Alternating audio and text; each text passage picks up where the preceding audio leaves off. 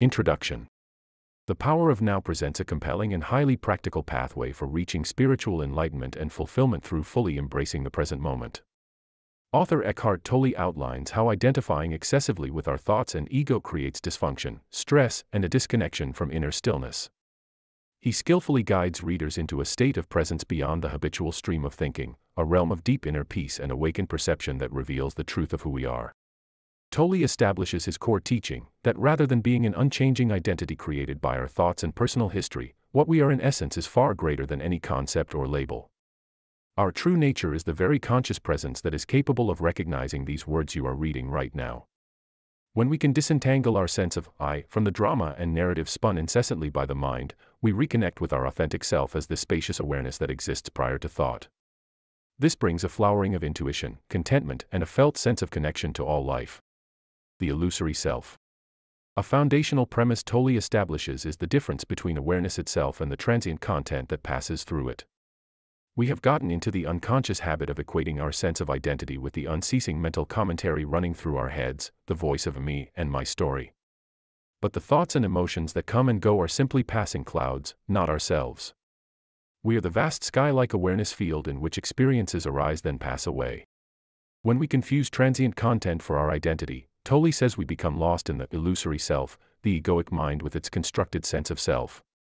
The ego arises as a defensive contraction against the uncertainty of life and tries to reinforce a fictional identity for security. This false self is the source of all inner dysfunction, the critical voice which is never satisfied, always seeking, resisting the simplicity of the present in favor of mental projections about the past and future. The voice in the head distracts us from the joy of immediate experience by instead generating an endless stream of commentary, judgment, and noise.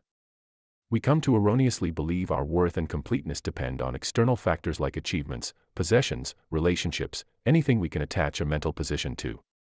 This keeps perception trapped in the realm of form identity and conceals our true nature as the spaciousness in which everything appears.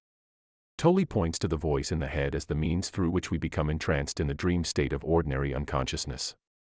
When left unquestioned, thinking creates the illusion of separateness, a disconnected me encapsulated within a physical form. This strengthens ego at the expense of our shared universal essence and obscures the sacredness of the present moment. Freedom from suffering. The price we pay for over identifying with the mind and its repetitive thought patterns is a loss of fulfillment, peace, and sense of meaning. We search outside ourselves for wholeness, habitually reaching to the next thing or experience to provide a temporary sense completeness. But no matter how strenuously the ego strives to organize the present moment so it is free of uncertainty and unpleasantness, it can never feel truly at peace. Tolle points out the irony that almost all human suffering is created mentally. The present moment itself has no problems, it just is what it is. Reality unfolds perfectly without needing anything additional. It is only through our compulsive judgment of the now as not okay our endlessly trying mentally escape into a fictional better future or rewritten past that emotional pain arises.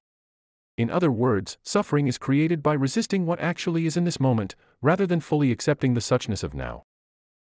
When we are at odds with reality, rather than consciously allowing the unfolding of each experience, we identify with positions of preference that generate conflict and fear whenever life fails to conform to our demands.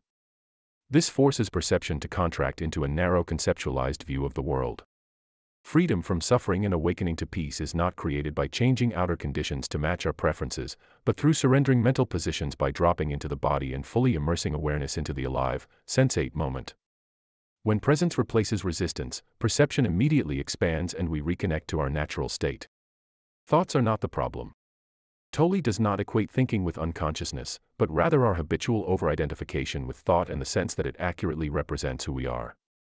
Thinking itself is a key evolutionary capacity and creative tool when consciously directed.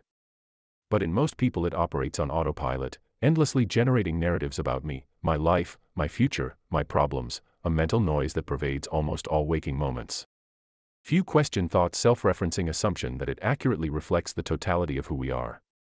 This creates an opaque veil over perception rather than clear seeing. Tolle emphasizes that thoughts only have the power over us that we unconsciously give them. Believing every passing notion reinforces ego's false certainty about life and its compulsion to interpret events based on past conditioning, instead of responding spontaneously to the aliveness and newness inherent in the now. The key is to relinquish belief in the mind's commentary and instead sink into the silent realm of being that lies underneath the voice in the head. This breaks the hypnotic grip of ego, realigning identity with presence rather than an ever changing personal narrative about me. When we observe thoughts rather than automatically following them, the grip of ego loosens and we gain access to deeper dimensions of understanding. We reconnect with our innate capacity to respond intuitively in accordance with the needs of the present moment. The pain body. In his teachings, Tolle brings attention to the unconscious forces that override conscious intention. He outlines how all egoic structures carry residual pain from past experiences that form an energy field he calls the pain body. This energy field lives within the mind but is distinct from normal thinking. The pain body thrives on negativity for its survival. When dormant, it lies in wait for a trigger to allow it to rise up and hijack our thoughts and emotions, projecting grievances from the past onto the present. Its food is any unpleasantness or drama which it then identifies with through thought loops, strengthening self concepts of victimhood. We all carry pain bodies inherited from our ancestral past, as well as built up through childhood conditioning and traumatic experiences that left psychic scarring. The emotional pain becomes part of our unconscious identity, making it feel comforting and familiar rather than something to relinquish. Tolle sees the pain body as one of the key obstacles to presence. Even when consciously committed to spiritual growth, the dormant pain from our past lives on through inner energetic formations that retain imprints of old emotional pain. The pain body activates whenever present events resonate with its buried memories of suffering, prompting it to contract our field of perception by co opting attention into its repetitive mental loops. This creates a gravitational pull away from conscious presence into past identity. However, through sustained awareness and non identification with its disturbances, the pain body loses energy and its grip over our sense of self lessens, it dies through lack of attention, as we cease feeding it with unconsciousness. Over time, this diminishes its power so that we can reside more permanently in the space of presence. Acceptance and surrender. The cornerstone of Tolle's approach for reconnecting to inner stillness is through acceptance and surrender. He defines acceptance as a conscious decision to relinquish mental resistance to actual reality, rather than arguing with what is or attempting to mentally edit the now to conform with our preferences. This allows us to release the conflict with life itself. Surrender arises naturally once unconscious resistance falls away. It signifies trusting in the higher benevolent intelligence that choreographs the dance of life. We let go of ego's attempt to control outcomes by overriding universal flow with rigid demands about what should be happening. Instead, we allow this moment, and life itself, to move through us without imposing preconceived notions upon it. Surrender offers no absolute guarantees about the future, but aligns us with the creative potential of presence itself, the evolutionary impulse of the universe. Acceptance and surrender together culminate in forgiveness of what is, which lifts perception beyond the dualistic categories of good and bad. We relinquish false notions that reality should conform to our desires. Instead, we open to what is actually happening, without needing to label it or react. This completes the realignment of perspective from ego to universal flow. When we accept rather than resist, defend, or attempt to escape this moment, identity shifts from thoughts and emotions to conscious embodiment itself, to simply being the space of presence.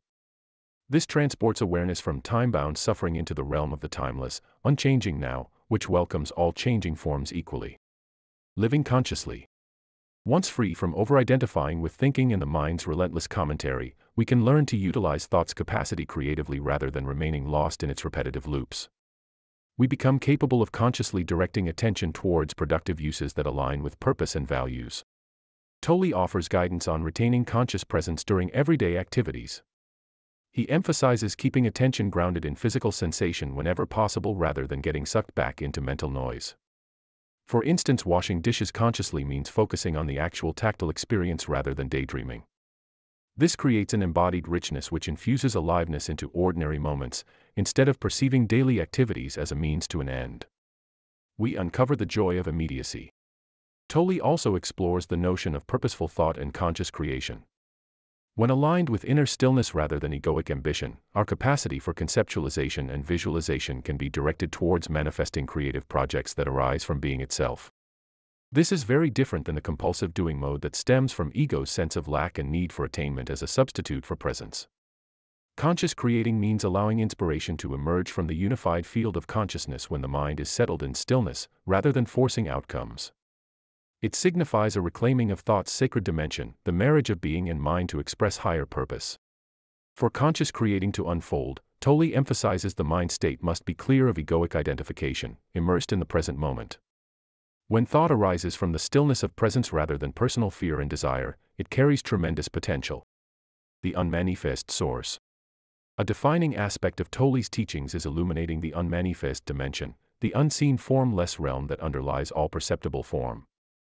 He describes the unmanifest as the inexhaustible creative potency out of which everything in existence emerges and returns to, including our sensory experiencing self. It is not an external God but the very ground or screen on which the entire movie of life arises.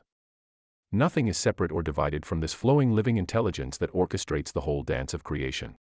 When conscious connection to the unmanifest is lost, perception becomes encapsulated in the realm of form, the world of things, events, and experiences. However, when perception penetrates beyond form identity, we reconnect with our source. Portals into the unmanifest present through any gaps or emptiness which draw attention beyond the perception of solid forms, the silent spaciousness between thoughts, the stillness underneath sensory experience, surrender of mental positions, letting go of definitions and judgments. As we relinquish over-identification with mental content and sink into the formless aliveness in these openings, separation and suffering subside the illusion of being an isolated fragment of awareness trapped inside a body dissolves back into unified vibrant presence. Tolle sees conscious connection with the unmanifest, our ground of being, as the ultimate purpose behind his teachings, not simply for alleviating suffering but as a homecoming into the realm of the sacred, where transient forms are infused with eternal essence. This invites perception to reunite with itself across the dimensions. In summary, the power of now points eloquently to how freedom from suffering and a joyful awakening to our full potential lies in transcending the habitual thoughts of egoic mind to reconnect with our essential nature as conscious presence. When we cease over-identifying with the turbulent stream of thinking and shifting content, we discover within us the unconditional fulfillment our searching mind continually seeks from the external world. We come home to who we are beyond all labels and limiting roles, the vast unconditioned awareness that we have always longed for the present moment opens into a portal where heaven and earth meet. All that is left is to step through.